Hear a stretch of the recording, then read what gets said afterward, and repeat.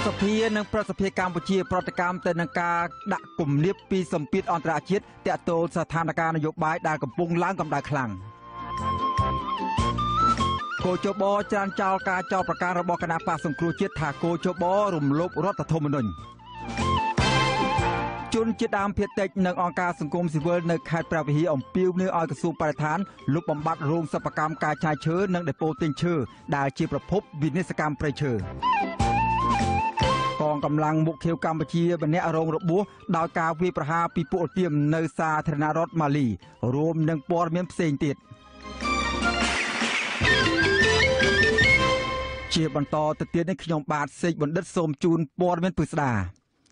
ដ្ឋសភានិងប្រសិទ្ធភាពកម្ពុជាប្រតិកម្មទៅនឹងសេចក្តីថ្លែងការណ៍នានារបស់សហគមន៍អន្តរជាតិជាពិសេសប្រសិទ្ធភាពអាមេរិកជាដើមសេចក្តីថ្លែងការណ៍រួមរបស់ស្ថាប័នទាំងពីរចេញកាលពីថ្ងៃសុក្រ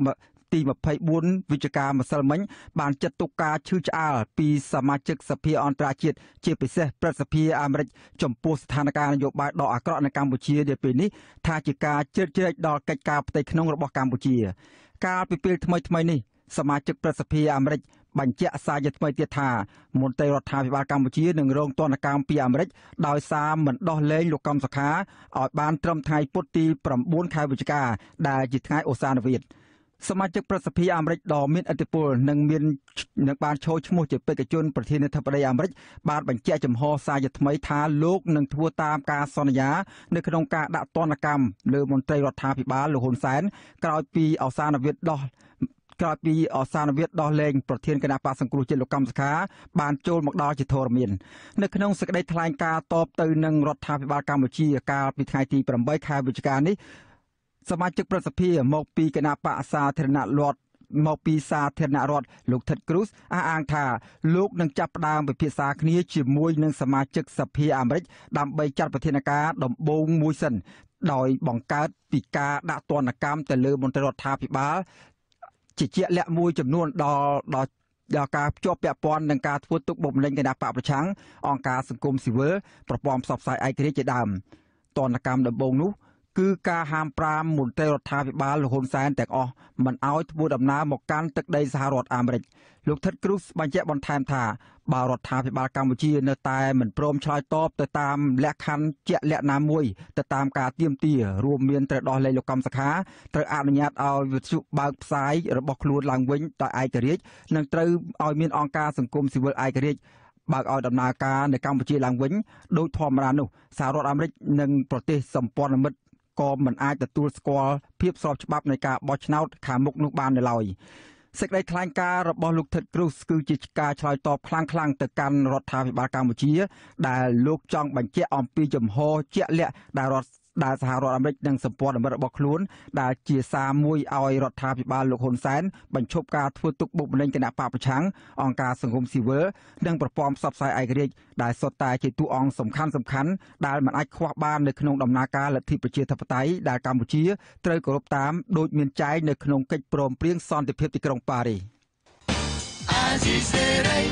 បាទលោកនាងកញ្ញាកំពុងតាមដានស្ដាប់កម្មវិធីផ្សាយរបស់វិទ្យុអស៊ីសេរីផ្សាយចេញពីរដ្ឋធានី Washington មន្ត្រីជាន់ខ្ពស់នៃស្ថាប័នបោះឆ្នោតគោជបបានចានចោលការចោទប្រកាន់របស់គណៈបកសង្គ្រោះជាតិថាគោជបបានរំលោភរដ្ឋធម្មនុញ្ញនៅក្នុងការបែងចែកអាសនៈរដ្ឋសភារបស់គណៈបកប្រឆាំងទៅឲ្យគណៈបកមិនជាប់ឆ្នោតនិងគណៈបកកណ្ដាលអំណាចគណៈបកអះអាងថា បាទគោជបអះអាងថាខ្លួនកំពុងតែគោរពតាមរដ្ឋធម្មនុញ្ញនិងបំពេញការងារទៅតាមច្បាប់កំណត់បាទលោកយុនសមៀនមានសេចក្តីរាយការណ៍អំពីរឿងនេះអគ្គលេខាធិការរងនៃគណៈកម្មាធិការជាតិរៀបចំការបោះឆ្នោតលោកសោមសូរីដាអះអាងថាការបែងចែកអាសនៈគណៈបកសង្គ្រោះជាតិ55អាសនៈទៅឲ្យគណៈបកមិនជាប់ឆ្នោតកាលពីឆ្នាំ2013បានធ្វើឡើងដោយផ្អែកទៅតាមច្បាប់ លោកអះអាងថាកោជបជាស្ថាប័នអនុវត្តច្បាប់ដូច្នេះបើច្បាប់ចែងឲ្យអនុវត្តកម្រិតណាកោជបនឹងអនុវត្តតាមកោជបស្ថាប័នឯករាជ្យនិងជារដ្ឋបាទហើយបានកំណត់នៅក្នុងរដ្ឋធម្មនុញ្ញអនុវត្តស្របទៅតាមច្បាប់សកម្មកម្មច្បាប់ការបោះឆ្នោតអញ្ចឹងថាបានកោជបថាបានអនុវត្តច្បាប់អញ្ចឹងក្នុងខាងមុខសម្រាប់ចែកឲ្យអនុវត្តកម្រិតណាកោជបអនុវត្តកម្រិតនោះកោជបកំពុងដឹកនាំដោយសមាជិកគណៈបកប្រជាជនកម្ពុជា ក្រោយពេលអនុប្រធានកោជបនិងសមាជិក2នាក់មកពីគណៈបកប្រឆាំងបានលាលែងពីតំណែងមន្ត្រីកោជបបានឲ្យដឹងថាអាសនៈដែលទំនេរមានចំនួន55អាសនៈរបស់គណៈបកសង្គ្រោះជាតិត្រូវបានកោជប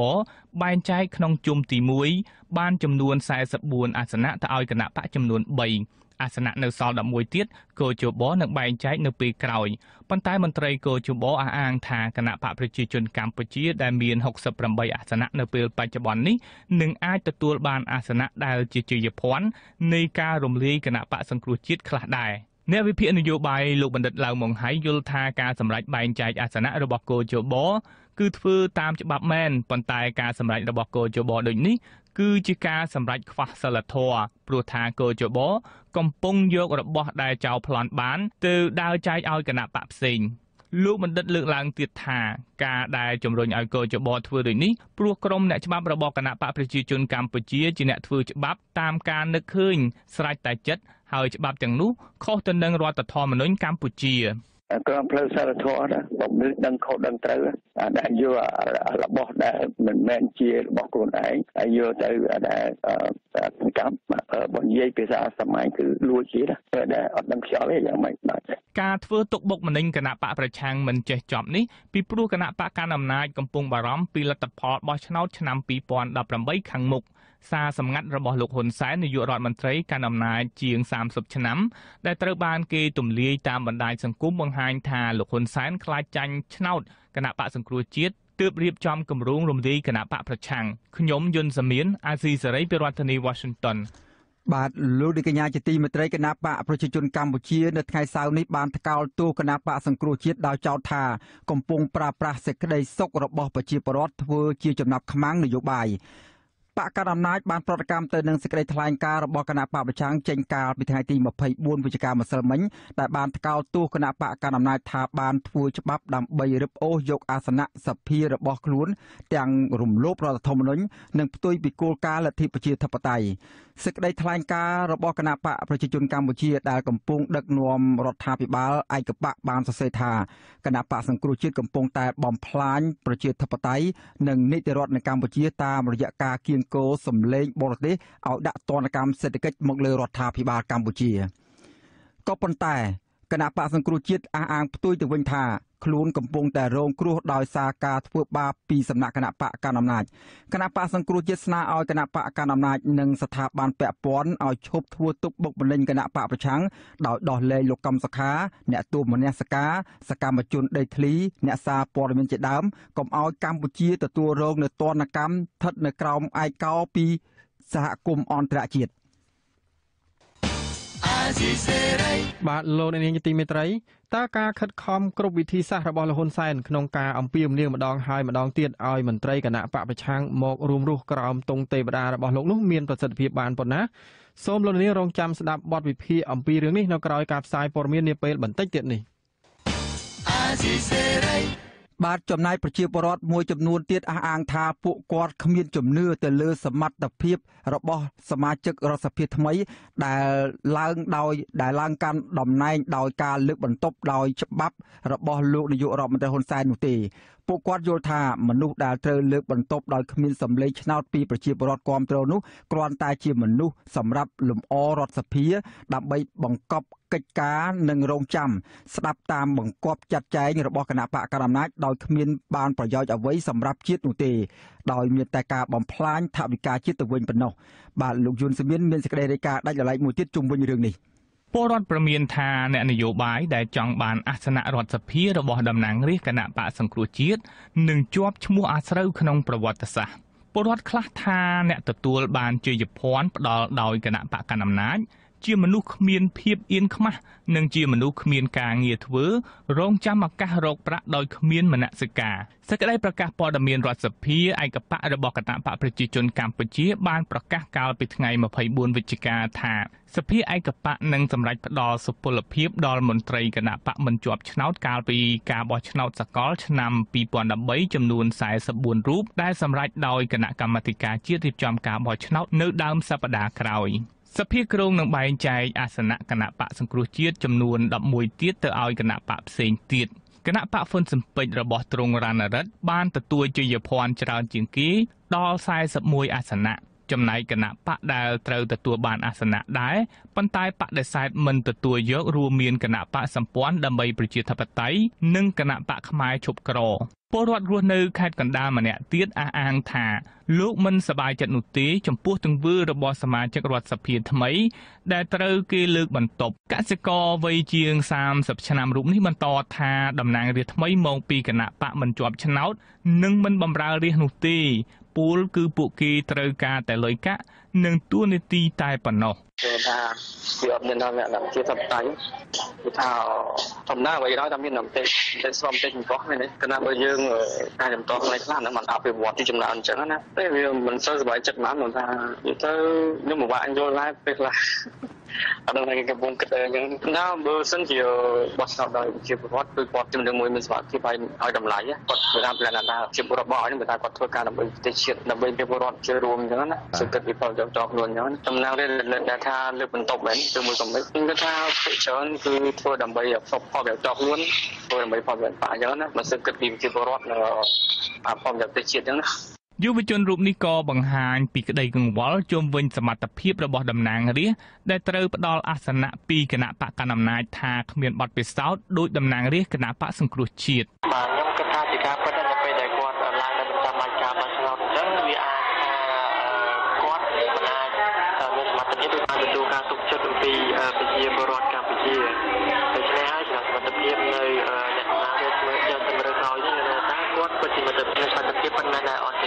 យុវតីមានស្រុកកំណើតនៅខេត្តកំពតម្នាក់ទៀតយល់ស្របថាវាជារឿងអាម៉ាស់ទៅវិញទេសម្រាប់សមាជិករដ្ឋសភាថ្មី ដែលឡើងកាន់តំណែងនិងទទួលបានប្រាក់ខែ ដោយសារទទួលជ័យភ័ណ្ឌពីការរំលាយគណៈបកសង្គ្រោះជាតិក្រោមការរៀបចំទាំងស្រុងដោយលោកហ៊ុនសែនបរិះខ្លាំងនៅកម្ពុជាយុវតីរូបនេះបារម្ភថាទៅថ្ងៃអនាគតក្រមសមាជិករដ្ឋសភាលែងបំរើផលប្រយោជន៍សម្រាប់រាស្ត្រនិងជាតិទៀតហើយ កញ្ញាបន្តថាតំណាងរាស្ត្រកើតឡើងដោយការចាត់តាំងដោយលោកហ៊ុនសែនមានតែធ្វើតាមបង្គាប់របស់គណៈបកកណ្ដាលអំណាចដើម្បីរក្សាតំណែងនិងងារជាឯកឧត្តមឬលោកជំទាវតែប៉ុណ្ណោះសម្រាប់ខ្ញុំខ្ញុំគិតថាឬមានគណៈបកខ្លះទៀតគាត់គាត់ព្រមទទួលយកដែរគាត់ទៅគិតមិនទទួលយកឯព្រោះអញ្ចឹងមិនតែគាត់ថាតែគណៈបកខ្លះដែលថាកើតចេញនៃសារកម្មឯកអាសនៈហ្នឹងវាគួរអស់សំណោយព្រោះដោយសារ សនៈដែលគាត់បានហ្នឹងมันបានខិតខំมันបានកើតឡើងដោយសារការខិតខំនៃគណៈបករបស់គាត់ដូចជាគោលនយោបាយគណៈបករបស់គាត់ធ្វើឲ្យរាជហ្នឹងពេញចិត្តបោះឆ្នោតឲ្យគាត់ណាប៉ុន្តែវាទៅជាកើតឡើងដោយសារគាត់ទទួលបានផលប្រយោជន៍ពីគណៈបកមួយទៀតតែត្រូវបានរំលាយហើយសួរខ្ញុំសប្បាយចិត្តអត់ខ្ញុំអត់សប្បាយចិត្តទេប៉ុន្តែធ្វើមិនបើគេអនុវត្តបែបហ្នឹងហើយយើងក្នុងនាមជាប្រជាពលរដ្ឋមួយរូបមានតែទទួលយកគណៈបកសង្គ្រោះជាតិក៏បានថ្កោលទោសការបែងចែកអាសនៈរដ្ឋសភា គណៈបកប្រឆាំងផងដែរសេចក្តីថ្លែងការណ៍គណៈបកសង្គ្រោះជាតិចេញកាលពីថ្ងៃសុក្រទី24វិច្ឆិកាបានថ្កោលទោសកោជបដែលបានរឹបអូសអាសនៈរដ្ឋសភាគណៈបកប្រឆាំងទៅឲ្យគណៈបកដតីទៀតតាមច្បាប់របស់គណៈបកកណ្ដាលអំណាចដែលធ្វើឡើងដោយរំលោភរដ្ឋធម្មនុញ្ញនិងផ្ទុយពីគោលការណ៍ប្រជាធិបតេយ្យ គណៈបកសង្គ្រោះជាតិបញ្ជាក់ថាតំណាងរាស្ត្រប្រឆាំងនៅតែជាតំណាងរាស្ត្រស្របច្បាប់របស់ពលរដ្ឋខ្មែរគណៈបកសង្គ្រោះជាតិក៏ស្នើឲ្យគណៈបកកណ្ដាលអំណាចនិងស្ថាប័នពាក់ព័ន្ធឈប់ធ្វើទុកបុកម្នេញគណៈបកប្រឆាំងដោះលែងលោកកម្មសខា អ្នកទោសមនសិការសកម្មជនដីធ្លីអ្នកសារព័ត៌មានដើម្បីកុំឲ្យកម្ពុជាទទួលរងទណ្ឌកម្មនិងស្ថិតនៅឯការពីសហគមន៍អន្តរជាតិខ្ញុំយុនសាមៀនអាស៊ីសេរីពីរដ្ឋធានី Washington បាទចំណែករឿងរ៉ាវពាក់ព័ន្ធនឹងវិស័យបរិស្ថានវិញម្ដងជនជាតិដើមភាគតិចនិងអង្គការសង្គមស៊ីវិលដែលនៅខេត្តព្រះវិហារបានអំពាវនាវឲ្យក្រសួងបរិស្ថានលុបបំបាត់រោងសិប្បកម្មកែច្នៃឈើនិងដេប៉ូទិញឈើដែលពួកគាត់ចាត់ទុកថាជាប្រភពនៃវិនាសកម្មព្រៃឈើធ្ងន់ធ្ងរអង្គការពន្លកខ្មែរនិងប្រជាសហគមន៍ព្រៃព្រះរកាបានចោទថាក្រុមហ៊ុនសំអឿនសវណ្ណ ថាបានប្រមូលទិញឈើខុសច្បាប់នៅដែនជំរកសត្វព្រៃព្រះរកាជាយូរឆ្នាំមកហើយក្រោមរូបភាពប្រមូលទិញឈើពីដីសម្បត្តិសេដ្ឋកិច្ចដែលមានលិខិតអនុញ្ញាតពីរដ្ឋាភិបាលបាទលោកហេងសកលរាយការណ៍ព័ត៌មាននេះ អង្គការបណ្ដកខ្មែរនិងសហគមន៍ការពារព្រៃឈើប្រះរកាព្រួយបារម្ភខ្លាំងពីបទល្មើសដឹកជញ្ជូនឈើនិងការលួចកាប់ឈើធំធំក្នុងព្រៃប្រះរកាយ៉ាងកក្រឹកកក្រែងដើម្បីយកទៅលក់ឲ្យឈ្មួញនឹងក្រុមហ៊ុនដែលទទួលសិទ្ធិប្រមូលទិញឈើពីដីសម្បត្តិសេដ្ឋកិច្ចនៅខេត្តព្រះវិហារពួកគេអះអាងថាបើទោះបីជាព្រៃប្រហាការត្រូវបានក្រសួងចុះបញ្ជីទទួលស្គាល់ជាដែនចម្រោកសត្វក្តីតែចលនាកាប់ឈើខុសច្បាប់នៅតែកើតមានធ្ងន់ធ្ងរនៅឡើយ កាលពីថ្ងៃទី22ខែវិច្ឆិកាតំណាងអង្គការពលរដ្ឋខ្មែរលោករ៉ៃប៊ុនធីនបានថ្លែងនៅចំពោះមុខរដ្ឋមន្ត្រីក្រសួងបរិស្ថានលោកសាយសំអាលឲ្យពិនិត្យមើលពីភាពមិនប្រក្រតីនៃអាជីវកម្មឈើរបស់ក្រុមហ៊ុនសំអឿនសវណ្ណដែលមានអាជ្ញាប័ណ្ណប្រមូលទិញឈើពីក្រុមហ៊ុនសម្បទានសេដ្ឋកិច្ចលើផ្ទៃដីជាង4000ហិកតាស្ថិតក្នុងស្រុកឆែបនិងស្រុកជ័យសែនក៏ប៉ុន្តែក្រុមហ៊ុននេះបានទទួលទិញឈើពីតំបន់ព្រៃព្រះរកានិងព្រៃនៅតំបន់ផ្សេងទៀតជាច្រើនខែមកហើយ លោកបញ្ជាក់ថាឈើដែលក្រុមហ៊ុនប្រមូលទិញនោះជាឈើដែលគេដឹកមកស្តុកទុកនៅស្រុកជ័យសែនដើម្បីបំលែងជាឈើស្របច្បាប់រួចដឹកចេញទៅក្រៅមន្ត្រីអង្គការពន្លកខ្មែរលោករ៉ៃប៊ុនធីនឲ្យដឹងថារដ្ឋមន្ត្រីក្រសួងបរិស្ថានបានសន្យាថានឹងចុះពិនិត្យបញ្ហានេះបើរកឃើញភាពមិនប្រក្រតីនៃអាជីវកម្មឈើនៅតំបន់នោះនឹងអនុវត្តតាមច្បាប់ តែនៅពេលដែលមានអាជ្ញាប័ណ្ណមានអីដែលប្រមូលទិញឈើពីអីសំទីក្រុមពេជ្រខ្ញុំចេះតែសង្កេតមើលដែរហើយឈើដែលប្រមូលទិញភាគច្រើនគឺប្រមូលទិញពីព្រៃចេះកានិងព្រៃខេត្តក្នុងតំបន់ការពារតនជាតិរបស់ព្រះបឋានបានលើកប៉ុណ្ណឹងណាក្រុមហ៊ុនសំអឿនសវណ្ណទទួលសិទ្ធិប្រមូលទិញឈើពីក្រុមហ៊ុនសម្បទានសេដ្ឋកិច្ចលើផ្ទៃដីជាង4000ហិកតាស្ថិតក្នុងស្រុកឆែបនិងស្រុកជ័យសែនខេត្តព្រះវិហារតាំងពីឆ្នាំ2015ដែលមានមន្ត្រីរដ្ឋបាលព្រៃឈើសហការសិក្សាពីផ្ទៃដីអាចប្រមូលផលបណ្ដាញសកម្មភាពដើម្បីសហគមន៍នៅឃុំពោស្រុកត្បែងមានជ័យនិងជាបណ្ដាញការពារព្រៃព្រះរាកាលោកសុតសវណ្ណមើលឃើញថារោងចក្រសិប្បកម្មកាយឆ្នៃឈើរីកដូចផ្សិតនៅតំបន់ជុំវិញព្រៃព្រះរាកានិងនៅតំបន់ព្រៃឡង់ លោកបញ្ជាក់ថារោងសិប្បកម្មកែច្នៃឈើនិងដេប៉ូឈើជាប្រភពបំផ្លាញព្រៃឈើជាប្រព័ន្ធដែលគេកែច្នៃឈើស្រស់ឲ្យទៅជាគ្រឿងសង្ហារឹមរួចលក់ទៅក្នុងទីផ្សារក្នុងស្រុកនិងក្រៅស្រុកហើយអ្នកកាត់ហ្នឹងគេចង់បានលុយអញ្ចឹងទៅគេកាត់កាត់ឈើហើយគេលក់ឲ្យអ្នកក្លែងកែច្នៃហើយអ្នកក្លែងកែច្នៃហ្នឹងគេលក់ទៅឲ្យអ្នកផ្សេងទៀតអញ្ចឹងវាជាប្រភពនៃការបាត់បង់ព្រៃឈើ ជនជាដើមភៀតតិចរស់នៅជាប់តំបន់ព្រៃឡង់ខេត្តស្ទឹងត្រែងលោកឋានវ៉នពុំមានជំនឿថាក្រសួងបរិស្ថានមានសមត្ថភាពទប់ស្កាត់បទល្មើសព្រៃឈើឲ្យមានប្រសិទ្ធភាពទេព្រោះមន្ត្រីថ្នាក់ក្រោមរបស់ក្រសួងនេះនិងសមត្ថកិច្ចពាក់ព័ន្ធជាមន្ត្រីខលខូចភៀកច្រើនទទួលបានផលប្រយោជន៍ពីបទល្មើសលោកបញ្ជាក់ថាបើទោះបីជាព្រៃព្រះរាកានិងព្រៃឡង់បានចុះបញ្ជីជាដែនចម្រោកសត្វក្តីតែក្រសួងបរិស្ថានគឺគ្មានសមត្ថភាពលុបបំបាត់បទល្មើសព្រៃឈើនោះទេហើយបទល្មើសនៅតែកើតឡើងធ្ងន់ធ្ងរដដែល។ ឥឡូវសុំសំណពោថាបើចង់ការពារព្រៃឈើបានទេសុំសម្ដេចនាយកផ្លាស់ប្ដូរផ្លាស់ប្ដូរមន្ត្រីរបស់សម្ដេចនាយកនោះឲ្យក្មេងៗសាក្រោយដែលលោកដែលលោកនាយកខំលើកតម្កើងឲ្យពួកនោះវាក្តាប់ទៅវាបានហើយបើឲ្យអ្នកចាស់ចាស់វាគ្មានទៅរួចទេគ្រូក្បាលកន្លះអើយបើថាឲ្យមន្ត្រីចាស់ចាស់នោះចាប់ហើយអឺបើថាទុកពួកនោះឲ្យនៅបំផ្លាញទៅខ្ញុំជឿបើថាឲ្យពួកនោះទប់ស្កាត់វាគ្មានពេលទេ បើម្នាក់ម្នាក់មិនហ៊ានចេញពីម៉ាស៊ីនត្រជាក់មិនហ៊ានចេញពីដេញទូកឡានផងនោះបានអីការពារបានលោកឋានវ៉ុនបន្ថែមថាប្រសិនបើក្រសួងនិងរដ្ឋាភិបាលមានបំណងកាត់បន្ថយបទល្មើសព្រៃឈើត្រូវផ្លាស់ប្តូររដ្ឋមន្ត្រីចាស់ចាស់ចេញហើយដាក់ជំនួសវិញដោយរដ្ឋមន្ត្រីយុវវ័យចំនួនក្រោយទើបអាចសង្គ្រោះធនធានធម្មជាតិវិញបានខ្លះព្រោះមន្ត្រីចាស់ចាស់របស់ក្រសួងបរិស្ថាននិងមន្ត្រីរដ្ឋបាលព្រៃឈើគ្មានឆន្ទៈទប់ស្កាត់បទល្មើសព្រៃឈើតាមទួលនីតិនោះទេ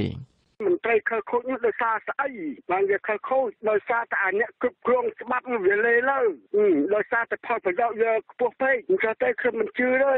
លើក្រសួងបរិស្ថានបអីនេះវាគឺបរិស្ថាននេះប៉ុន្តែការពិតវាមិនមានអីទៅតាមលើទេវាមានបរិស្ថានក្រោមទេខ្ញុំមិនជឿ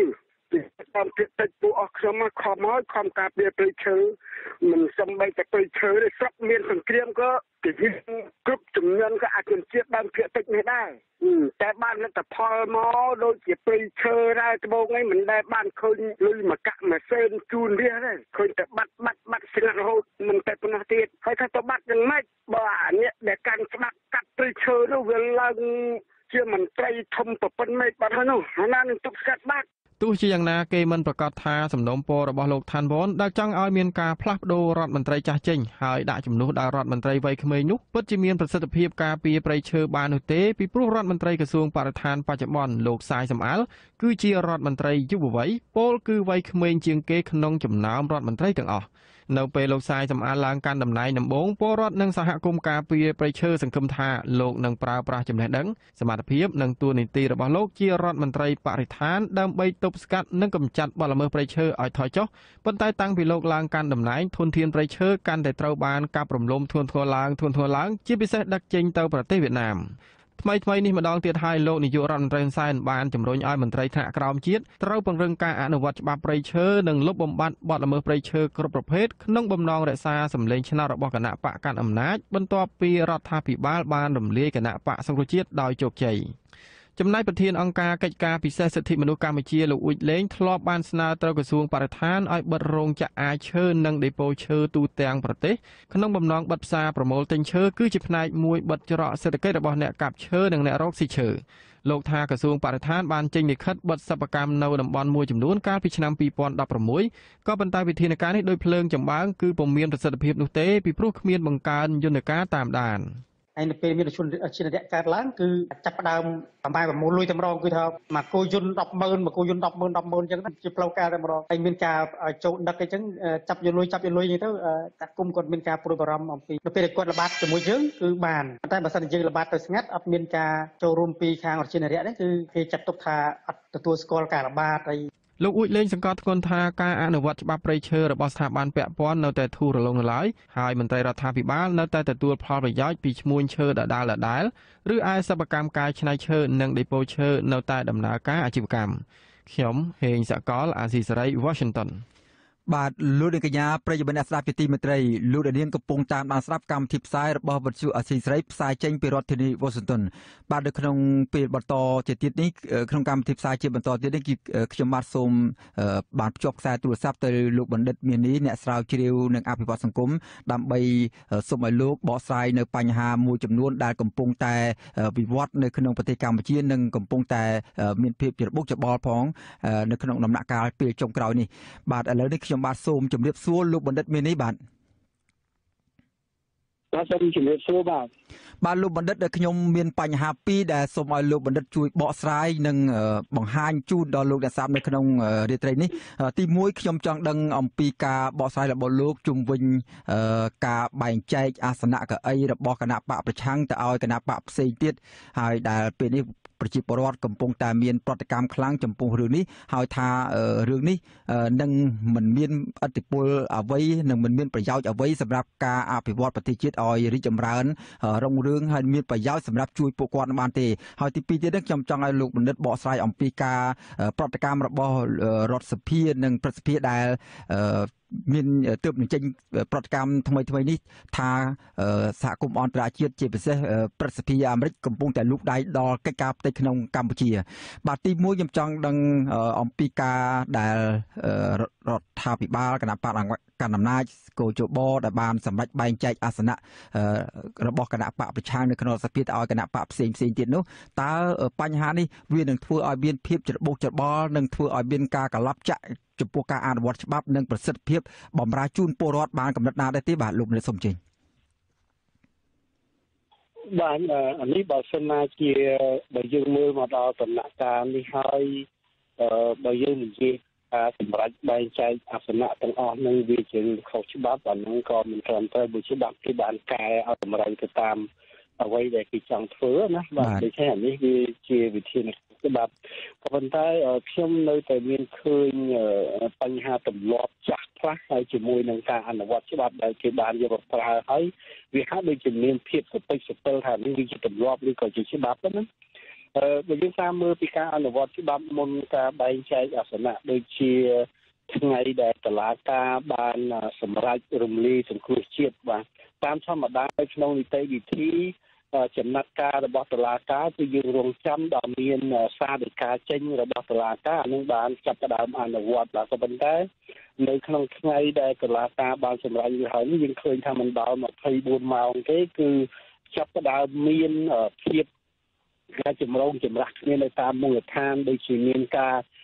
ចេញបញ្ជាទៅដកត្រាឬក៏មានដល់កន្លែងខ្លះមានការដូចជាទៅផ្លែការបណ្ដេញមន្ត្រីសង្គ្រោះជាតិនៅតាមមូលដ្ឋានឃុំហ្នឹងឲ្យចេញពីកន្លែងធ្វើការអឺអានេះបើតាមមែនទែនទៅវាត្រូវតែបើស្ថាប័នរដ្ឋមួយទាំងមូលនៅថ្នាក់មូលដ្ឋាននៅទូទាំងប្រទេសវាត្រូវតែមានដំណាក់កាលដែលត្រូវអឺ យើងហៅថាត្រូវដកឃ្លាដើម្បីសម្រាប់ទី1ទៅរងចាំសារដីការបស់តុលាការចេញសិនអានឹងបានចាប់ផ្ដើមអនុវត្តហើយការអនុវត្តនៅក្នុងប្រព័ន្ធរដ្ឋបាលប្រទេសទាំងមូលគេមិនដែលអឺគាត់តែសម្រាប់ភ្លាមហើយយើងទៅដេញគ្នាតំណត់តំណែងទៅដកត្រាអញ្ចឹងវាមិនមែនជាប្រព័ន្ធមួយដែលមានការគ្រប់គ្រងត្រឹមត្រូវទេបាទតាមពិតអានឹងវាត្រូវតែមានដំណាក់កាលនៃការដកឃ្លាម្ដងតែមានដំណាក់កាលដ ងមួយម្ដងមួយអានឹងបានធ្វើទៅវាមិនមានភាពចលាចលហើយជឿមើលទៅឃើញទេខ្លះសម្ដេចនាយកគាត់ខំប្រឹងស្រែកខំប្រឹងអំពាវនាវដើម្បីសុំឲ្យមានការចុះចូលចូលរួមក៏ប៉ុន្តែដល់ពេលមន្ត្រីនៅថ្នាក់ខាងក្រោមគាត់យល់អានឹងទេគាត់គិតទៅធ្វើក្តៅជាមួយនឹងមន្ត្រីសង្គ្រោះជាតិនឹងធ្វើឲ្យពួកនឹងដូចខាងអ្នកខ្លះទៅរត់ចោលផ្ទះចឹងទៅអ្នកខ្លះក៏ខឹងទៅមានកន្លែងការអីខ្លះទៀតរហូតដល់អឺ មានប៉ូលីសនៅតាមមូលដ្ឋានហ្នឹងទៅបង្ហាញខ្លួននៅមុខផ្ទះគ្នាធ្វើឲ្យគ្នាខ្លាចចឹងហើយសម្ដេចនាយកក៏ជាខំស្រែកទាវលាឲ្យគេចូលមកចូលរួមបណ្ដាដល់អ្នកខាងក្រោមអត់យល់អាហ្នឹងទៅយកនាំគ្នាគម្រាមគ្នាហ្នឹងទៅឲ្យផ្ទះវិញបាទហើយបើយើងមើលការរំលំផ្លាកសង្គ្រោះជាតិទៀតក៏មិនមានបែបបត់អីត្រឹមត្រូវអានេះគឺបើកាលណានេះយើងរងចាំដល់សារិការបស់តុលាការចេញមកទៅវាហើយយើងចាប់ផ្ដើមចេញទៅឥឡូវថាប្រហែលថ្ងៃដើម្បី រំលំនៅផ្លាកទាំងអស់ឲ្យអស់ប៉ុន្តែអត់ទេគឺថាដូចជាមិនដល់48ម៉ោងហ្នឹងគឺអ្នកនៅខាងក្រោមនេះចាប់ផ្ដើមរុះរើវាយផ្ដួលចោលកន្លែងខ្លះអឺយើងឃើញនៅតាមផ្លូវនៅដួលចោលនឹងឯងគ្រាន់តែបានរើចេញប៉ុន្តែវាយផ្ដួលចោលហ្នឹងដូចជាពាក្យថាបំផ្លាញតែម្ដងណាដល់ទីចឹងទៅវាមើលទៅវាមិនមែនជាការតាមជាទស្សនៈរបស់ខ្ញុំដូចជាមិនមែនជាការអនុវត្តច្បាប់ដូចជាទម្លាប់ចាស់ទម្លាប់ចាស់បើន័យថា ឲ្យតែធ្វើអីមួយហើយតែត្រូវបំផ្លាញគឺមិនទាន់ចាំស្ដាប់មេកោយខាងលើនិយាយទេគឺថាខាងក្រោមធ្វើមុនទៅហើយណាបាទបាទនេះវាជារឿងមួយដែលខ្ញុំឃើញទាស់ភ្នែកតែខ្ញុំមិនដឹងថាតើខាងផ្លូវច្បាប់នឹងជាយ៉ាងម៉េចខ្ញុំមិនដឹងអានេះជាការមើលឃើញរបស់ខ្ញុំណាបាទលោកបណ្ឌិតរហូតដល់មានប្រជាពលរដ្ឋបាទ បាទលោកបណ្ឌិតរហូតមានប្រជាពលរដ្ឋ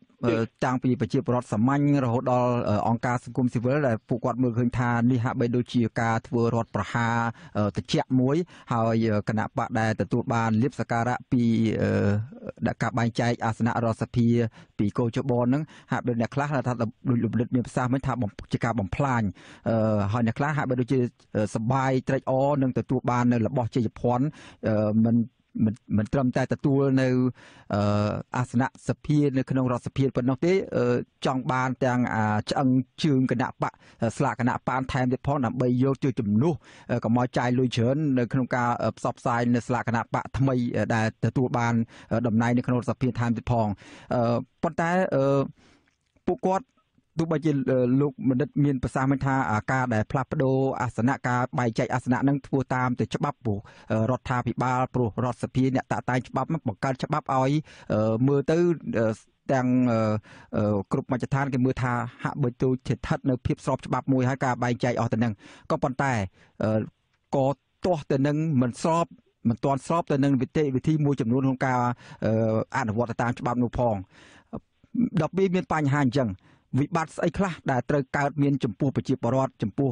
អនាគតប្រទេសជាតិកម្ពុជាទៅថ្ងៃមុខទៀតនេះបើសិនជាអ្វីអ្វីមិនបានប្រព្រឹត្តទៅតាមនីតិវិធីច្បាប់ឲ្យបានត្រឹមត្រូវមានច្បាប់ហើយចុះក៏ប៉ុន្តែអនុវត្តការអនុវត្តមិនបានស្របទៅតាមច្បាប់បានចែងត្រៀមទុកនោះផងនោះបាទបាទអានេះខ្ញុំជម្រាបជូនដូចខ្ញុំបានរំលឹកមិញថាមួយខាងដៃមួយខាងដូចសម្ដេចនាយកគាត់ខំអំពាវនាវឲ្យ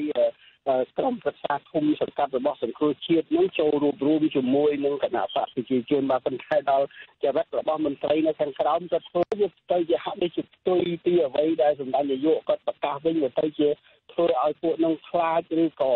ដូចជាប្រើអំពើអីដែលមើលទៅឃើញថាអ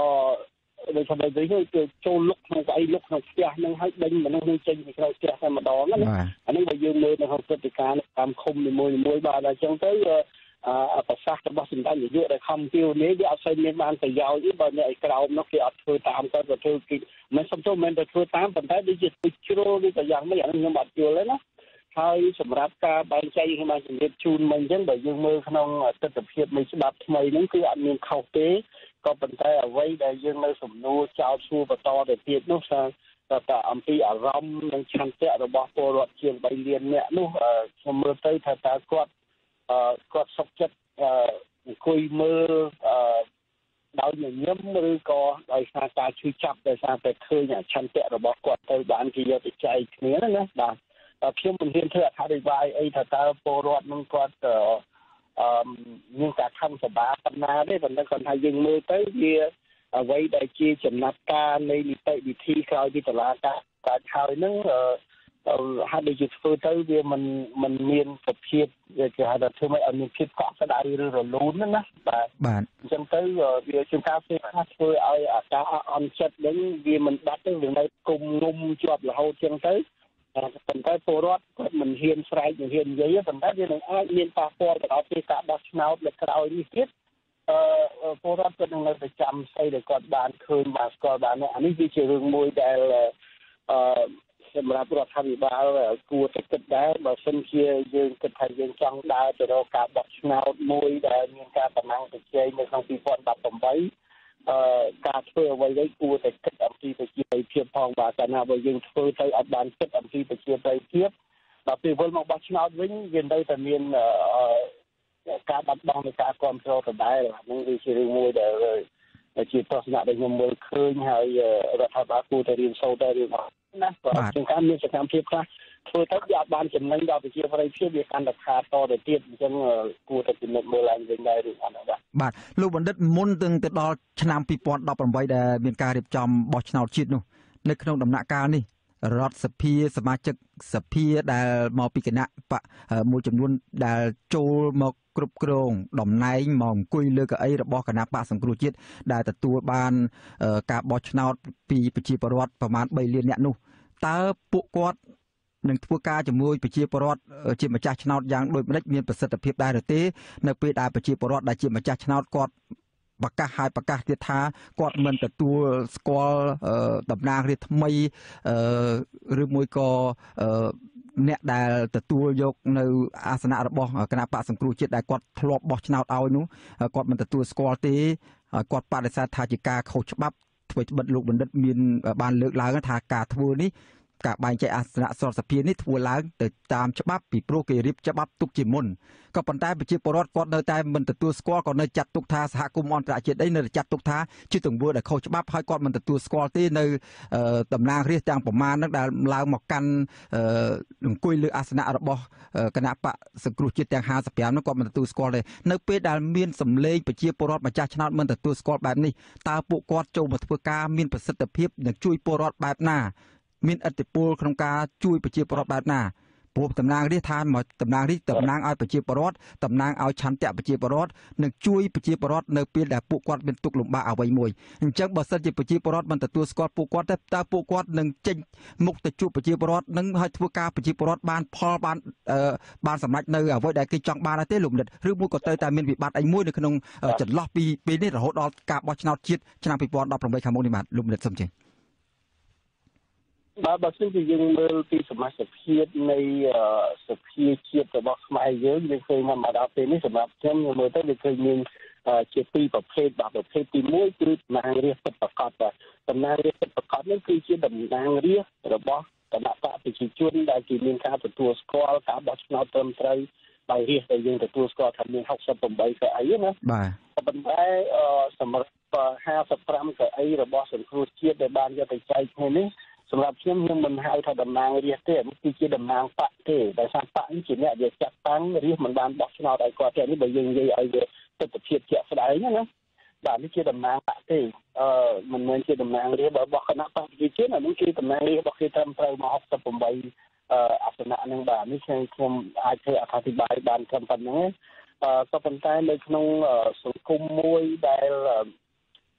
មានពលរដ្ឋមិនពេញចិត្តនឹងអ្វីដែលជាការសម្រេចចិត្តដែលមិនសមស្របនឹងឆន្ទៈរបស់គាត់ជឿថាវាអាចមាន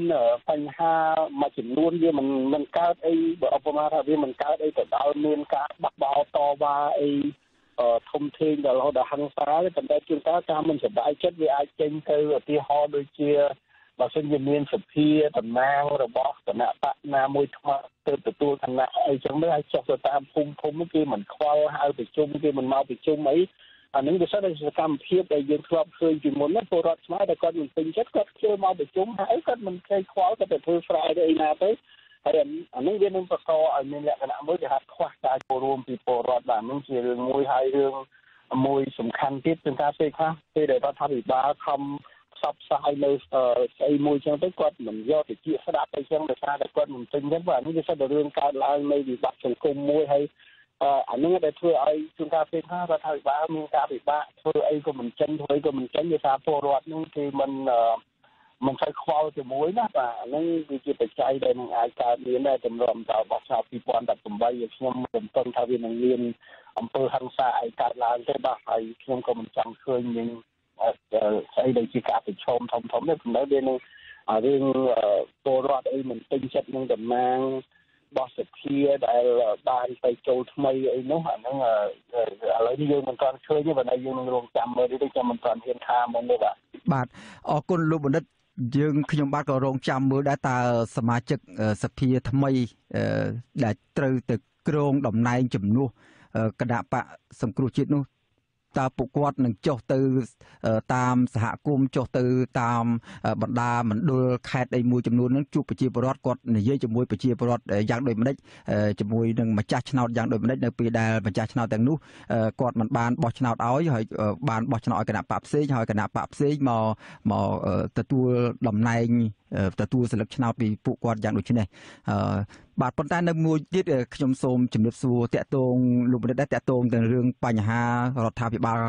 គណៈបកកណ្ដាលអំណាចសពថ្ងៃនិងស្ថាប័នរដ្ឋសភាប្រសិទ្ធិជាមួយនឹងសហគមន៍អន្តរជាតិឥឡូវនេះម្សិលមិញគាត់បានចេញរដ្ឋសភានិងប្រសិទ្ធិបានចេញសេចក្តីថ្លែងការណ៍ប្រតិកម្មទៅនឹងការចេញសេចក្តីថ្លែងការណ៍របស់សហគមន៍អន្តរជាតិជាពិសេស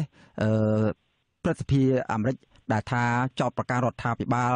សពថ្ងៃនេះកំពុងតែ រំលាយលទ្ធិប្រជាធិបតេយ្យរំលោភសិទ្ធិមនុស្សធ្វើឲ្យស្ថានភាពនៅក្នុងប្រទេសកម្ពុជានឹងបានឡើងកម្ដៅខ្លាំងហើយកំពុងតែស្ថិតនៅក្នុងសភាពមួយវឹកវរហើយត្រៀមនឹងដាក់អឺអសានវិទ្យដាក់ទណ្ឌកម្មទៅលើរដ្ឋាភិបាលកម្ពុជាដែលកំពុងតែ ដឹកនាំប្រទេសសពថ្ងៃនេះផងតើហាក់ដល់ចោទថាសហគមន៍អន្តរជាតិទាំងនោះកំពុងតែលូកដៃចូលកិច្ចការផ្ទៃក្នុង ចំពោះលោកបណ្ឌិតនៅក្នុងកលៈទេសៈបែបនេះនៅពេលដែលកម្ពុជាកំពុងតែស្ថិតនៅក្នុងសភាពបែបនេះតើអឺការដែលឈឺឆ្អាលជាមួយនឹងប្រទេសកម្ពុជា ការដែលចេញសេចក្តីថ្លែងការណ៍ការដែលទាមទារឲ្យរដ្ឋាភិបាលធ្វើសភាពការឲ្យធ្វើយ៉ាងម៉េចឲ្យមានការគោរពសិទ្ធិមនុស្សគោរពលទ្ធិប្រជាធិបតេយ្យធ្វើឲ្យស្ថានភាពនៅក្នុងប្រទេសកម្ពុជាបច្ចុប្បន្នវិលទៅរកភាពដើមវិញនោះតើជាកិច្ចការលុកជាការលុកដៃផ្ទៃជាការលុកដៃចូលកិច្ចការផ្ទៃក្នុងរបស់កម្ពុជាឬក៏យ៉ាងម៉េចដែរលោកបណ្ឌិតបាទ បាទខ្ញុំបានដូចជាខ្ញុំបាននិយាយកាលពីប្រហែលអាទិត្យមុនខ្ញុំថាកាលពីមិនទាន់រំលាយសង្គ្រោះជាតិទឹកកង្វល់ផ្សេងផ្សេងធ្ងន់ធ្ងរធំធំវានៅលើសង្គ្រោះជាតិបើសង្គ្រោះជាតិពេលនោះគឺប្រឈមមិនដឹងថាត្រូវរំលាយឬក៏មិនរំលាយក៏ប៉ុន្តែខ្ញុំបាននិយាយថាក្រោយពីសង្គ្រោះជាតិត្រូវរំលាយហើយនោះគឺទុកទាំងឡាយនឹងត្រូវវិលមករក គណៈបកប្រជាជនវិញឬក៏គណៈបកកណ្ដាលពិសេសគឺរដ្ឋាភិបាលតែម្ដងដែលត្រូវទទួលបន្ទុកខ្ញុំខ្ញុំតែងបែងចែកដាច់រវាងគណៈបកនិបាយហើយនិងរដ្ឋាភិបាលមកហើយចាប់តាំងពីថ្ងៃដែលរំលាយសង្គ្រោះជាតិមកគឺរដ្ឋាភិបាលនឹងត្រូវប្រឈមជាមួយនឹងការឆ្លើយតបច្រើនទៀតជាមួយទាំងសហគមន៍អន្តរជាតិផងទាំងបញ្ហានៅក្នុងស្រុកខ្លួនឯងផងហើយ សំបីតែការពឹងផ្អែកទៅលើការជួយគ្រប់គ្រងពីចិននេះក៏ត្រូវតែមានការប្រយ័ត្នប្រយែងដែរព្រោះចិនក៏គេត្រូវការមានប្រយោជន៍របស់គេដែរប៉ុន្តែបើប្រទេសយើងវាឃ្លោងទៅកន្លែងមួយដែលវាធ្វើឲ្យខាតប្រយោជន៍ពីគេច្រើនពេកអឺក៏វានឹងអាចមានបញ្ហាអីកើតឡើងដែរនេះយើងមិនអាចទស្សន៍បានទេហើយមួយទៀត នយោបាយរបស់យើងនេះក៏ហាក់ដូចជាមានភាពចម្រូងចម្រាសខ្លះទៅជាមួយនឹងនយោបាយក្នុងតំបន់ដែរយើងឃើញស្រាប់ហើយថាវៀតណាមគេបានងាកទៅរកទៅជាមួយអាមេរិករួចទៅហើយអញ្ចឹងនៅប្រទេសយើងយើងបានងាកទៅរកចិនហើយដោយសារតែវៀតណាមហើយនឹងរដ្ឋាភិបាលខ្មែរយើងនេះមានជាមិត្តមើលឆ្នាំជាមួយគ្នាផងចឹងនៅពេលដែលយើងមិនមានជំរើសច្រើនហើយយើងផ្អែកទៅរកចិនខាងពេកនោះ សំណួរដែលសួរថាតើនយោបាយការបរទេសរបស់វៀតណាមនេះគេនឹងគិតយ៉ាងម៉េចវិញមកជាមួយនឹងខ្មែរយើងណាបាទនេះសិតទៅជារឿងដែលរដ្ឋាភិបាលត្រូវប្រឈមទាំងគ្រប់ជ្រុងទាំងអស់បាទហើយតកតទៅនឹងសំណួរសួរថាតើអឺហេតុអីក៏អន្តរជាតិចេះតែមកលូកលាន់អីនេះហើយមួយទៀតខ្ញុំលើសូភាកដែរថាអន្តរជាតិដូចជាធ្វើទុក បុកម្នេញមកទៅលើប្រទេសខ្មែរមួយត្រង់ប្រទេសផ្សេងទៀតនៅក្នុងតំបន់ដូចថៃអីក៏គេមិនសូវដាក់ចំនួនអីមកលើវាប្រទេសខ្មែរយើងវាមានលក្ខណៈពិសេសមួយត្រង់ថាអឺយើងកើតចេញពីសន្និសីទឬក៏កិច្ចព្រមព្រៀងទីក្រុងប៉ារីហើយដល់ឥឡូវនេះយើងនៅតែមានការបកែកចម្រុងចម្រាស់គ្នាមួយថាស្លាប់ហើយមួយថាមិនទាន់ស្លាប់អញ្ចឹង បាទសម្រាប់ខ្មែរយើងសម្រាប់រដ្ឋាភិបាលក៏គិតថាកិច្ចព្រមព្រៀងទីក្រុងប៉ារីនេះស្លាប់ហើយក៏ប៉ុន្តែសម្រាប់អន្តរជាតិគេនៅតែប្រកាន់ថាសន្និសីទទីក្រុងប៉ារីនៅតែមានប្រសិទ្ធភាពបាទអញ្ចឹងបានជាយើងនៅតែឃើញមានអន្តរជាតិអីចេះតែមានប្រតិកម្មជាបន្តបន្ទាប់មកដោយសារតែការយល់ឃើញខុសគ្នានឹងបាទអញ្ចឹងសម្រាប់ខ្ញុំវិញខ្ញុំចង់ឃើញទាំងអន្តរជាតិទាំងខ្មែរហ្នឹងថាតើយើងធ្វើម៉េចដើម្បីសម្រាប់ថាតើ ផ្លូវណាមួយដែលយើងត្រូវដើរឲ្យខ្ញុំនៅមានជំនឿថាទោះបីជាមានសម្ពាធពីអន្តរជាតិយ៉ាងណាក៏ដោយប៉ុន្តែដល់ខ្មែរនិងខ្មែរគ្នាឯងមិនមានឆន្ទៈដោះស្រាយរឿងហ្នឹងដោយខ្លួនឯងទេខ្ញុំគិតថាយើងនឹងត្រូវ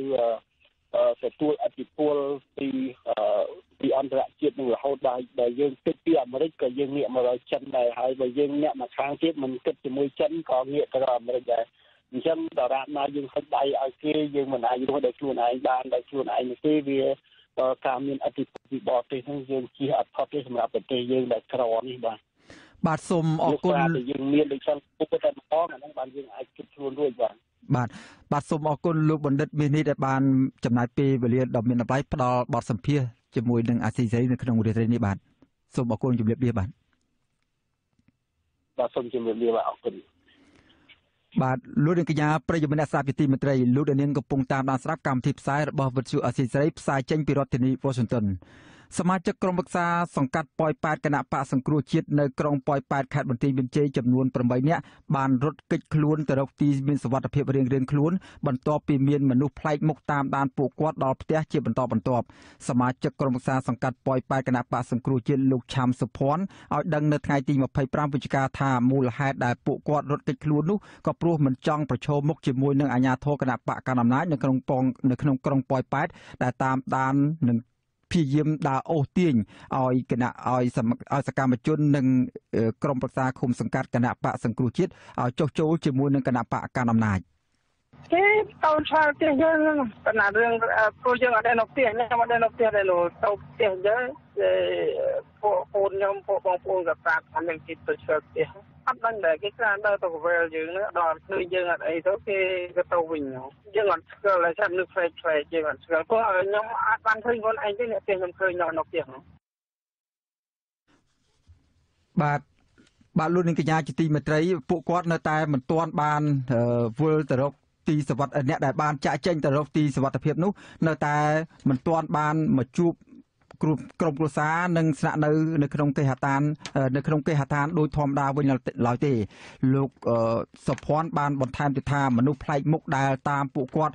ភ ieck ច្រើនស្លៀកពាក់ជាឯកសន្តានស៊ីវិលហើយបដូរគ្នាពីម្នាក់ទៅម្នាក់ជាបន្តបន្ទាប់រហូតមកទល់នឹងពេលនេះនៅតែបន្តតាមដាន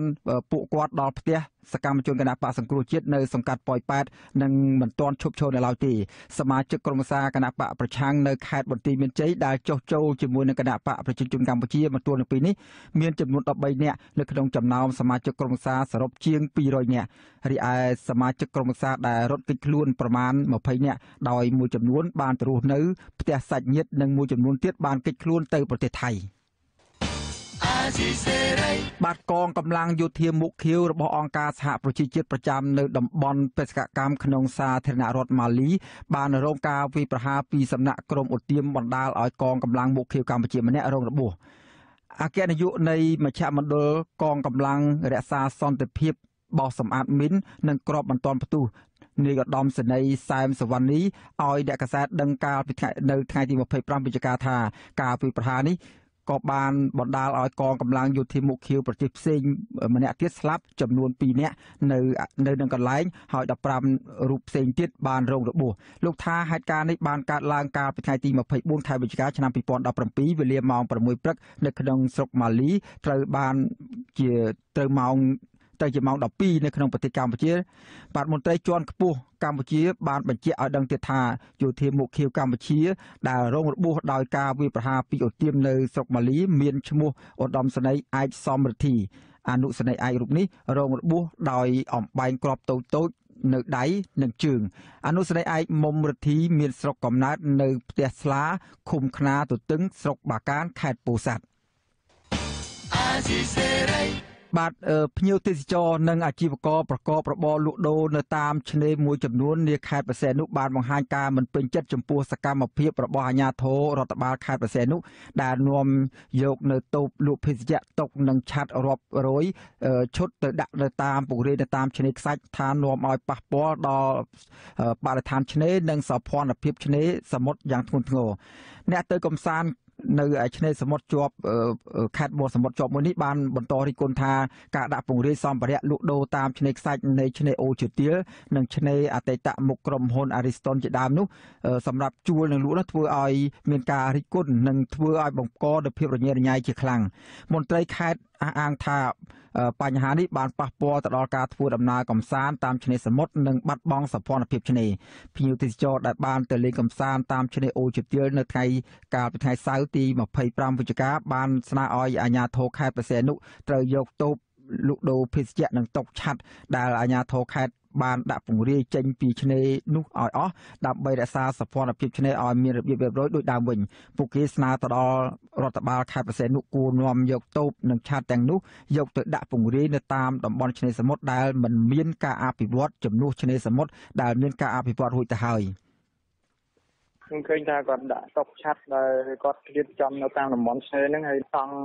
ដាក់នៅជាប់នឹងមាត់សមុទ្រហ្នឹងឃើញថាវាប៉ះពាល់តំបន់ឆ្នេរយ៉ាងធំតែម្ដងបាទឃើញថាយើងយកមកដាក់ហ្នឹងដូចជាវាធ្វើឲ្យឆ្នេរសមុទ្រហ្នឹងបាត់ភ័ណ្ឌភាពនៅតាមតំបន់ឆ្នេរទាំងអស់ ឃើញថាស្នេហ៍យើងវាតូចវាល្អៀតហើយដល់គាត់ដាក់ចឹងទៅធ្វើឲ្យប៉ះពាល់ស្នេហ៍យ៉ាងខ្លាំងព្រោះគាត់អាចយកឆាត់នឹងស្តង់ទាំងអស់នេះយកទៅដាក់កន្លែងតំបន់ណាដែលមិនទាន់អភិវឌ្ឍដូចជាតំបន់នៅកោះឬតំបន់មាត់សមុទ្រផ្សេងផ្សេងបាទគឺវាល្អណាស់បាទគឺមានស្តង់មានឆាត់ចឹងបាទដើម្បីដំណើរកម្មដល់ភ្ញៀវទេសចរដែលគាត់បានទៅកំសាន្តលេងនៅតំបន់ទាំងអស់នោះបាទ បាទចំណាយប្រតិបត្តិការទេសចរលក់ដូរនៅតាមតំបន់ឆ្នេរមួយចំនួនក៏បានរិះគន់សកម្មភាពការដាក់ពង្រាយសម្ភារៈលក់ដូរនិងនៅឆ្នេរអូជាទៀលឆ្នេរអតីតមុខក្រុមហ៊ុន Ariston និងឆ្នេរឯករាជ្យជាដើមសម្រាប់ដាក់ជួលនិងប្រណាំងប្រជែងជាមួយនឹងប្រជាពលរដ្ឋនេះអាជីវករឆ្នេរអូជាទៀលបាន ចាត់ទុកសកម្មភាពនេះថាកំពុងដណ្ដើមមុខរបរចិញ្ចឹមជីវិតរបស់ប្រជាពលរដ្ឋក្រមអាជីវករភៀកច្រើនបានស្នើឲ្យអភិបាលខេត្តបរសែនលោកយុនមីនត្រូវបញ្ឈប់សកម្មភាពនេះនិងត្រូវនាំស្តង់តុកនិងឆាត់ទាំងនោះយកទៅដាក់ពង្រាយនៅតាមតំបន់ឆ្នេរមិនទាន់មានការអភិវឌ្ឍជំនួសវិញអាជីវករចាត់ទុកទង្វើនេះថាធ្វើឲ្យប៉ះពាល់ដល់អារម្មណ៍ភ្ញៀវទេសចរជាតិនិងអន្តរជាតិដែលចូលមកដើរកម្សាន្តលំហែកាយនៅតាមឆ្នេរអូជាទៀលនិងចុះងូតទឹកកម្សាន្តនៅទីនោះជាដើម អភិបាលរងខេត្តបរសែនុលោកឈិនសេងួនបានប្រាប់ប្រព័ន្ធផ្សព្វផ្សាយនៅក្នុងស្រុកថាតូបលក់ភេសជ្ជៈតុកនឹងឆាត់ដែលអាជ្ញាធរខេត្តបានដាក់បាននាំយកទៅដាក់ពង្រាយនៅតាមឆ្នេរមួយចំនួនមានឆ្នេរអូជាទៀលជាដើមនោះគឺសាលាខេត្តបានទទួលពីក្រុមហ៊ុនឯកជនមួយបានផ្ដល់ជូនមករដ្ឋបាលខេត្ត លោកបន្តថាសម្ភារៈទាំងនោះរដ្ឋបាលខេត្តបានគ្រូងរកទីតាំងសមរម្យតាមឆ្នេរសមុទ្រមួយចំនួននាខេត្តបរសៃអនុដើម្បីដាក់ជួលឲ្យអាជីវករឬក៏ប្រជាពលរដ្ឋនៅក្នុងតម្លៃសមរម្យដើម្បីអាចឲ្យរដ្ឋបាលខេត្តមានថវិកាសម្រាប់ការងារថែរក្សាបរិស្ថានអនាម័យតាមឆ្នេរនីមួយៗឲ្យមានសោភ័ណភាពថែមទៀតនៅថ្ងៃអនាគតយ៉ាងនេះក្តីអាជីវករឆ្នេរអូជាទៀលបានអះអាងថាពួកគេបានបង់ពន្ធជូនស្ថាប័នជំនាញពាក់ព័ន្ធនៃរដ្ឋបាលខេត្តបរសៃអនុមិនដែលខកខានម្ដងណានោះទេក៏ប៉ុន្តែពួកគាត់មិនទទួលបានការគ្រប់គ្រងពីរដ្ឋបាលខេត្តបែរជាមកដាក់ពង្រាយស្តង់តុកឆាត់នៅពីមុខពួកទៅពួកគាត់លក់ដូរនោះទៅវិញនាំឲ្យមានផលប៉ះពាល់ដល់មុខរបរពួកគាត់ជាប្រចាំថ្ងៃនិងមានវិបត្តិខាងសេដ្ឋកិច្ចគ្រួសារអា ស៊ីសេរីបាទលោកនាងទើបបានស្ដាប់ព័ត៌មានប្រចាំថ្ងៃរបស់វិទ្យុអស៊ីសេរីដែលរៀបចំជូននៅខ្ញុំបាទសេកបណ្ឌិតពីរដ្ឋធានីវ៉ាស៊ីនតោនសូមអញ្ជើញអស់លោកនាងរងចាំស្ដាប់សេចក្តីរាយការណ៍ពិស្ដារផ្សេងទៀតនៃកម្មវិធីផ្សាយរបស់យើងខ្ញុំនាពេលបន្តិចទៀតនេះ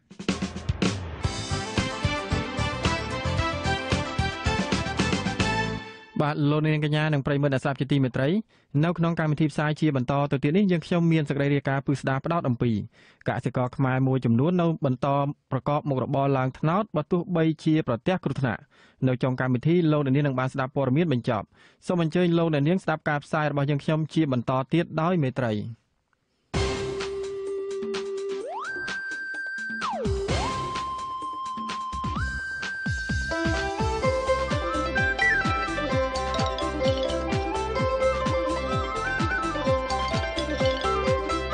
សេចក្តីរាយការណ៍ពិស្ដា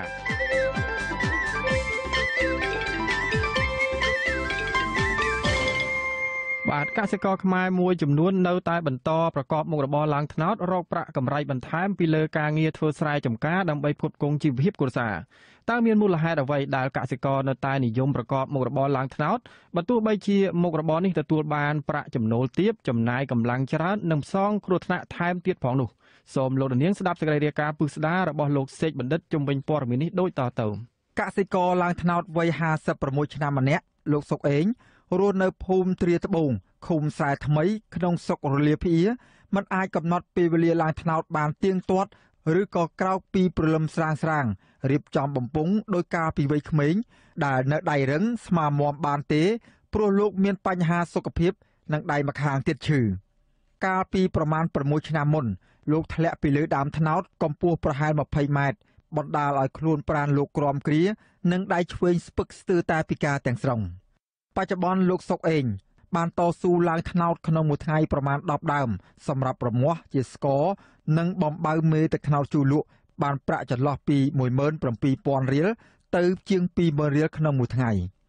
មុខរបរនេះมันអាចធ្វើឲ្យជីវភាពគ្រួសាររបស់លោកធូរធារបានឡើយ ប៉ុន្តែលោកអាចចិញ្ចឹមក្រពះពីរនាក់ប្តីប្រពន្ធ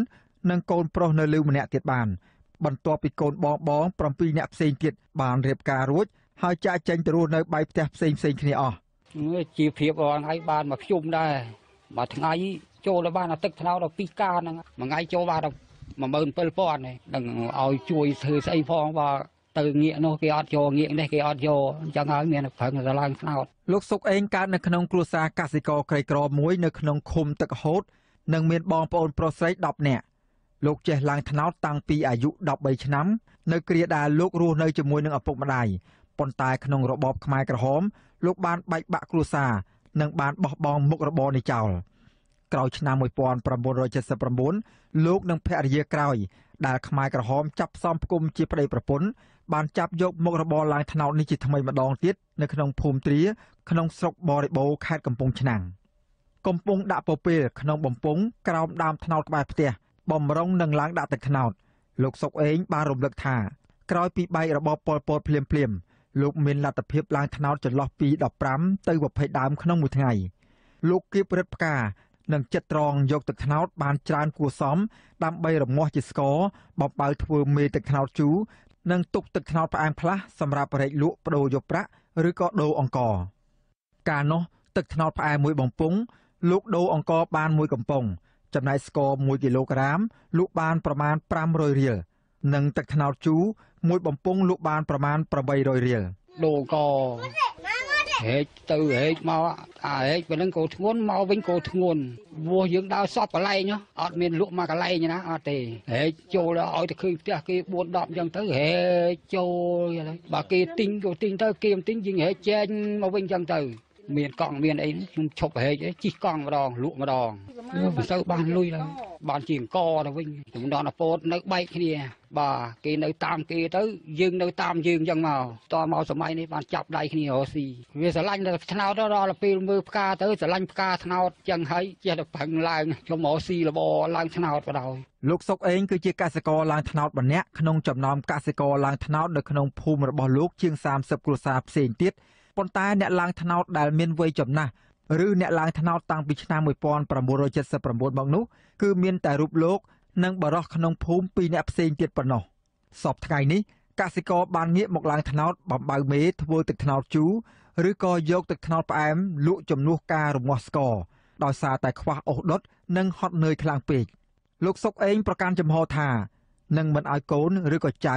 ចាប់យកមុខរបរឡើងថ្នោតនេះបន្តទៀតទេ បើទោះបីជាកូនកូនបង្កើតរបស់លោកពុំមានអ្នកណាបានរៀនសូត្រខ្ពង់ខ្ពស់ឬមានការងារធ្វើធំដុំក្រៅពីការងារសំណង់និងកាត់ដេរនៅតាមរោងចក្រយ៉ាងណាក្តីលោកបានចំណាយពេលវេលាស្ទើរពេញមួយជីវិតរបស់ខ្លួនជាមួយនឹងមុខរបរឡើងថ្នោតនិងធ្វើស្រែចម្ការបន្តិចបន្តួចម្នាក់ឯងដោយសារតែលោកពុំមានជំរឿសធ្វើមុខរបរផ្សេង អូឡើងច្រើនគ្នាដែរអាខ្លះធ្លាក់ទៅមកពីលឺចុងអាខ្លះក៏អស់ជីវិតទៅអាខ្លះក៏នៅទៅវាអញ្ចឹងវាអត់ទៀងខ្ញុំអត់មានជំរឿប៉ុន្តែដល់កូនលើក្រោយខ្ញុំអត់ឲ្យឡើងព្រោះវានឿយនឿយនឿយណាស់ឡើងគ្មានពេលសម្រាប់ទេរឿងឡើងថ្នោតម៉ោង1ម៉ោង2ម៉ោង1ថ្ងៃនេះចាប់ផ្ដើមឡើងរហូតដល់ម៉ោង7យប់ក៏មានដែរអញ្ចឹងហើយខ្ញុំអត់ឲ្យកូនខ្ញុំចាប់របរអាហ្នឹងឯងចូលចិត្តឲ្យធ្វើសំណង់ធ្វើការរោងចក្រទៅវិញដែរទោះយ៉ាងណាក្តី នៅលើទឹកដីស្រុករលាភៀដែលមានដើមត្នោតច្រើនជាងគេក្នុងខេត្តកំពង់ឆ្នាំងនោះមានអ្នកឡើងត្នោតក្មេងចាស់ជាច្រើនអ្នកនៅចាប់អារម្មណ៍នឹងមុខរបរមួយនេះនៅឡើយដោយសារតែកសិករខ្លះអាចទាញយកប្រាក់កម្រៃពីការលក់ទឹកត្នោតជូរបានកម្រៃចន្លោះពី60000ទៅ100,000រៀលក្នុងមួយថ្ងៃក្នុងមួយថ្ងៃមួយថ្ងៃពួកគេត្រូវឡើងត្នោតចន្លោះពី20ទៅ30ដើមដើម្បីទទួលបានទឹកត្នោតប្រមាណ180លីត្រឬស្មើនឹង6កាន ទឹកត្នោតផ្អែម និងទឹកត្នោតជូរដែលលក់នៅក្នុងក្រុងកំពង់ឆ្នាំងបច្ចុប្បន្នភ្នាក់ច្រើនមានប្រភពចេញពីភូមិទ្រាត្បូងភូមិទ្រាជើង និងភូមិបណ្ដងរុស័យនៃឃុំស្រែថ្មីស្រុករលាភៀទឹកត្នោតមានអនាម័យនិងគ្មានជាតិគីមីដោយសារវត្ថុធាតុដើមផ្សំធ្វើជាទឹកត្នោតជូរមានតែសម្បកកកោសឬក៏សម្បកស្ដៅចំណែកទឹកត្នោតផ្អែម គេប្រើសម្បកឬដើមពពេល